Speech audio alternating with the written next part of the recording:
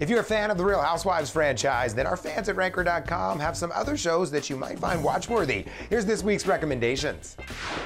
Real Housewives of New Jersey is one of the most popular installments of Bravo's long running reality show franchise, and fans will be happy to know that it's finally returning for an 11th season. But once the season is through, where will fans of Teresa, Melissa, and the rest of the crew find the drama they crave? Watchworthy has some recommendations that Real Housewives of New Jersey fans are statistically more likely to love. First up is another amazing reality show from Bravo called Below Deck. This show explores a highly specialized segment of the hospitality industry luxury yachting. The cast is made up of crew members, or yachties, who must balance their professional and romantic rivalries with the often excessive demands of their wealthy customers. This is a great selection for people who love workplace reality shows like Vanderpump Rules. Next, we recommend Netflix's Blown Away, a breathtaking competition show that pits 10 glass blowing artists against one another as they fight for $60,000 in prize money. The contestants must create a glass sculpture that will face off against the others, generating beautiful art and plenty of drama in the process. Real Housewives fans will come for the competition, but stay for the fascinating look at the underrated art form of glass blowing.